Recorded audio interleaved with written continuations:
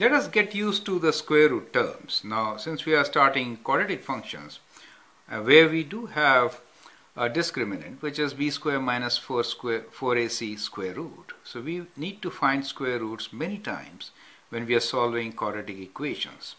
So that is why we are having this exercise of understanding how to work with radicals. So let's express each radical in the simplest form. So here we have square root of a to the power of 7. Now square root of a to the power of 7 should be seen as kind of square root of a to the power of 6 times a.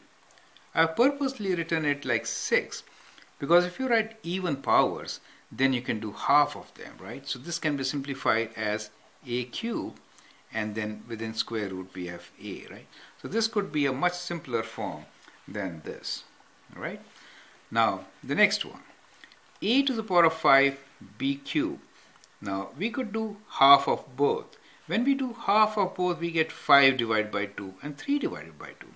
Now 5 divided by 2 is, so I'm adopting a different method this time.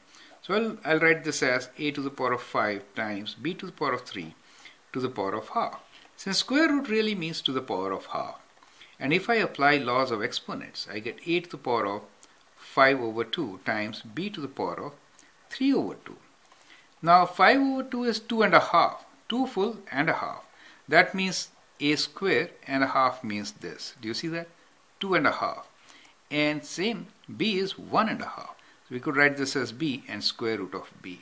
So this is another way of writing the square roots in a simpler form. Do you understand? So that is how you can write. And of course you can combine and it is always good to write these two together. So we should get this as equals to a square b and within square root AB. So that is the simplest form in which it can be written. Let's look into the next operation. Here we kind of combine the previous ones, right? So first let's simplify them and then see if it can be combined. So the first expression is 4 times x to the power of 5.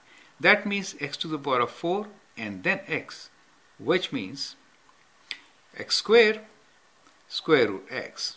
You could also get it by 5 divided by 2 is 2 and a half. 2 and a half. Do you understand? So you can do either way.